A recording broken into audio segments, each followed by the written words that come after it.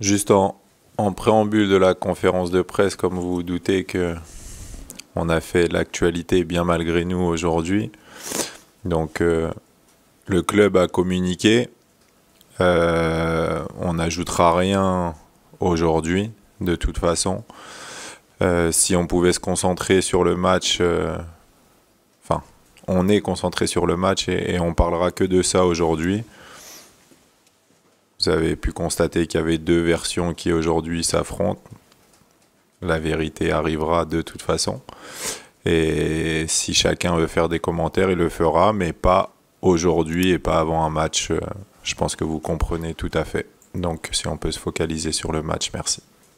C'est déjà fait et j'ai aucune crainte que ça perturbe le... Nous, on est... On est unis. Il n'y a aucune faille entre nous, entre joueurs et staff. Il y a. C'est. Ouais, c'est.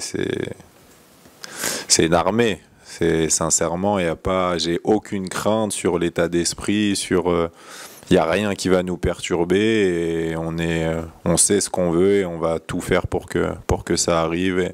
Il n'y a personne qui nous fera penser à autre chose.